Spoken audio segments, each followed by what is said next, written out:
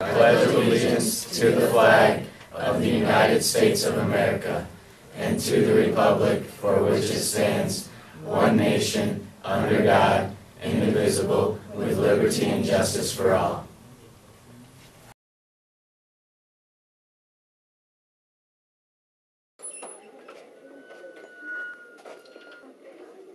Okay, no, you go first. Christmas sweat in October, you cool? Sasquatch. Sasquatch. Hey, here's a staple.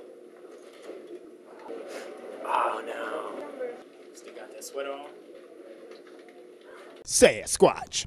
Good morning, Mona Shores. These are your daily announcements for Tuesday, October 15th, 2013. I am Cade. And I'm Brighton.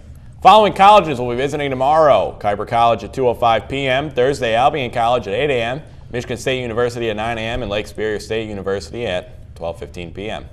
Don't forget, the cafeteria wants your artwork. Submissions must be about food or your cafeteria and be positive in nature. Your submission does not have to be made out of food, it just has to be about food. Your masterpieces are due by 3 p.m. on Thursday. Winners of the contest will be awarded with an amazing pass that includes one free snack item from the cafeteria every day for the rest of the school year.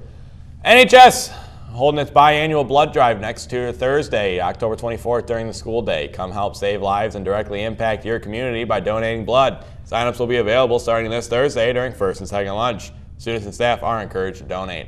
If you have any questions, please see Mrs. Whitaker in room 608. Student senators, there will be a required meeting tomorrow. All senators should be inside the choir room by 8.30 a.m. Did you actually enjoy writing that 2,000 word essay defining the word insipid? Well, no, I didn't. Brian, why don't you tell me a little bit about right, it? why don't I go ahead? If you need a creative outlet or a break from those insipid essays, come to Writing Club for Food, Friends, and Writing.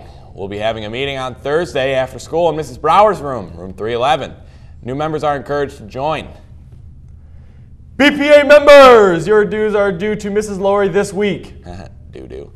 If you are taking tomorrow's PSAT, the test will be administered in the auxiliary gym beginning at 7:40 a.m. Please bring an approved calculator and two sharpened number two pencils. The test will be approximately three hours in length, and your teachers will be advised of your absence from class. New to the sailorslog.com, today, senior Kaylee Fongers wrote about junior Abby Peterson going to the equestrian regionals. Art Club will meet today from 3 to 3:50. We're looking for students who enjoy drawing people from photographs. Please join us. The Gender Sexuality Alliance will be having a meeting tomorrow in Mr. Drosky's room, room 102. Bring an open mind, a voice, and an empty stomach as we fight for equality and munch on snacks. The 2014 Senior Celebration Committee is selling Sweetest Day sucker suckergrams this week during the lunch hours. Purchase a sucker for a dollar for someone special, and it'll be delivered on Friday during fourth hour. What are you guys doing? Hey, what's this for? Ms. Wallace, can we interrupt for just a minute? Sure. All right. Come on in, folks. Oh, nice. See. Okay. So, Miss Wallach, this year, our leadership team has decided to take Pride Initiative a little step further, and that is to acknowledge staff members that do something above and beyond.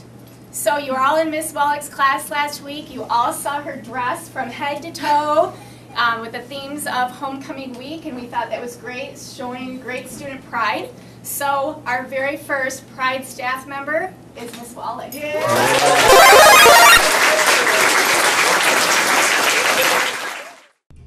This is Sailor Country. We do everything with pride. I'm Dugan. Sugar got you down? Do you have a deep fried blues? Come see Mr. Crego in room 410 for a healthy fix. The Mona Shores softball team will be selling Honeycrisp apples, bananas for a dollar. Stop in and get healthy. Softball players grades 9 through 12. There will be a short meeting in Mr. Crego's room 410 tomorrow at 3. If you cannot attend, please stop and pick up information for the fall fundraiser and the field cleanup. Today in sports, the freshman volleyball team competes in the Muskegon Catholic Triangular, the swim team travels to Forest Hills Northern, and the soccer team competes in the district tournament at West Ottawa.